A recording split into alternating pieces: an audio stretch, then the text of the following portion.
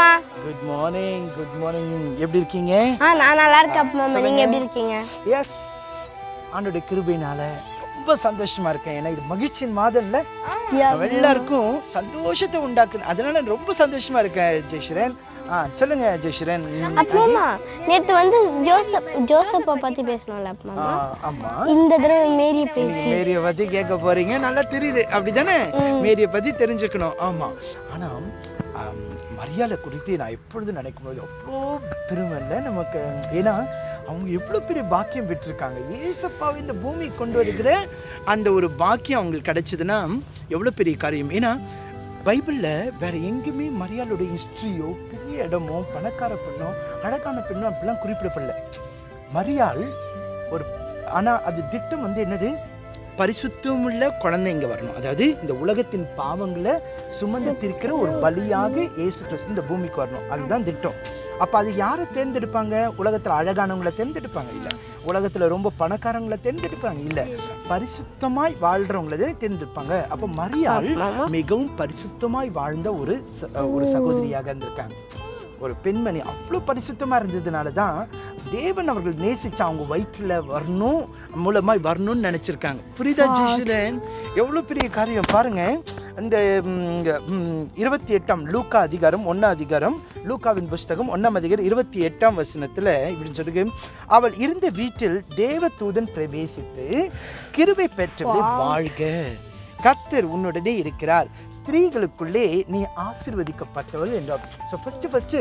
ஒரு தேவதூதன் வந்து இவ்வளோ க்ரீட் பண்ணுறது எப்படி ஒரு பெரிய விஷயம் இப்போ நீங்கள் வந்து எனக்கு குட் மார்னிங் சொன்னோடனே எனக்கு இவ்வளோ பெரிய சந்தோஷம் இருக்குது நம்ம ரெண்டு நம்ம பேசுகிறோம்ல அதே போல் தூதன் வந்து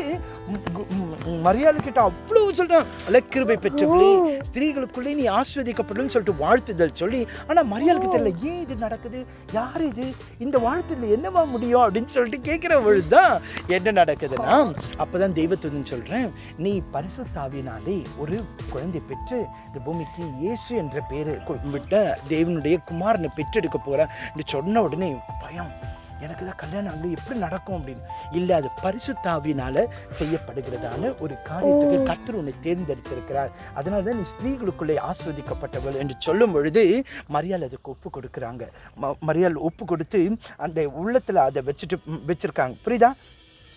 அவங்களுக்குள்ள நிறைய பாஷை நடக்குது அப்போ தேவ தேவத்துவம் சொல்கிறாங்க தேவனாலே கூடாத காரியம் ஒன்றும் இல்லை என்றார் அதற்கு மரியாள் இதோ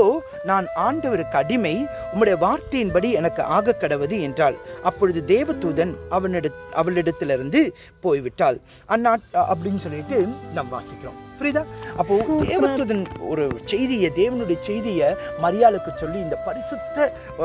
திட்டத்தை வெளியே கொண்டு வர்றதுக்கு மரியாள் எவ்வளோ அவமானம் சுமக்க வேண்டியதாக இருந்தது தெரியுமா எவ்வளோ பேர் நிந்திச்சிருப்பாங்க ஃப்ரெண்ட்ஸ் கேலி பண்ணியிருப்பாங்க வீட்டாரே புரிஞ்சுக்க மாட்டேன்ட்டாங்க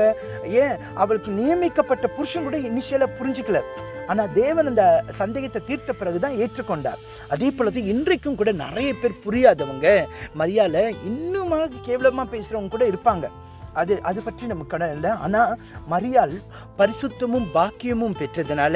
பரிசுத்த பிள்ளையாகி இயேசுவை இந்த பூமிக்கு கொண்டு வர அவங்க காரணமாக இருந்தாங்க ஆம் பிரியமானவர்களே தேவன் உங்களை ஆசிர்வதிப்பதற்கு என்னை கேட்குற அன்பு செல்வங்களே வாலிப செல்வங்களே உங்களை தேவன் ஆசிர்வதிப்பதற்கு ஸ்டேட்டஸ் அவருக்கு தேவையில்லை அவருக்கு பாரபட்சம் பார்க்காத தேவன் நீங்கள் நீங்கள் எப்படி இருக்கிறீங்கன்றது முக்கியம் இல்லை நீங்கள் எப்படி உள்ளத்தில் இருக்கிறீங்கன்றது தான் முக்கியம் நீங்கள் பரிசுத்தமாய் வாழ்வீர்கள் என்றால் ஒரு ஒரு நீதியுள்ள வாழ்க்கையை வாழ்வீர்கள் என்றால் அவருடைய திட்டத்திற்கு கண்டிப்பாக உங்களுக்கு ஏதோ ஒரு விதத்தில் அந்த ஆசிர்வாதத்தை கொண்டு வர அது நிச்சயம் அது நிச்சயம் ஒருவேளை நீங்கள் யாருன்னு கூட நீங்கள் இயேசு அறியாமல் இருக்கலாம் ஆனால் நிச்சயமாக நீங்கள் உள்ளத்தில்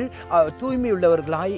நீதி உள்ளவர்களாக இருப்பீர்கள் என்றார் அவர் உங்களை தேடி வருவார் இந்த ஆசிர்வாதத்தை உங்களுக்கும் தர அவர் விரும்புகிறார் அண்ட் God bless you!